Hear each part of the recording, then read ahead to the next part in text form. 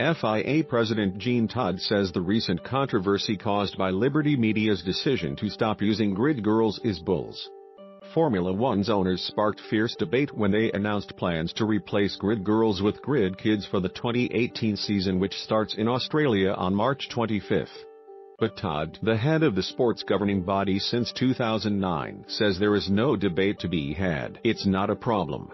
It's stupid, said the 72-year-old. I have more important matters in my life to discuss than grid girls. I'm sorry that there's been so much talk about this kind of bulls as the Frenchman embarks on his third and final four-year term as president. Those more important matters include the retention of Ferrari. Todt spent 15 years with the Italian team from 1994 overseeing the most successful period in their history when Michael Schumacher led the Scuderia to five straight F1 drivers and constructors titles from 2000.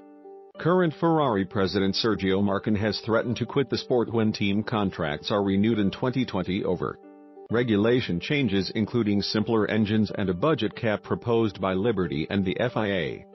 Todt says there will be no climb down on the issue of affordability but is confident his former employers will stay nonetheless.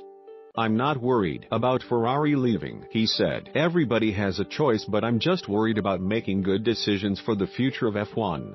It's something we are working on. An F1 car is too sophisticated. It's too expensive but it's the biggest motor racing show on earth. If we do a good job we will have a lot of competitors. We need to make it more affordable and make sure we don't lose any teams Todt added as he unveiled the new Formula E car in Geneva. Bernie Ecclestone suggested last week that F1 will have to follow their lead and turn to electric power. But Todt insists there will be no break in Formula E's agreement with the FIA to be the sole electric championship until 2040. Formula E is a baby which is on the way to becoming a champion, said Todt. It's a new category and there is big interest. For the environment it's fantastic and people speak a lot about it, but it's foolish to compare it to F1.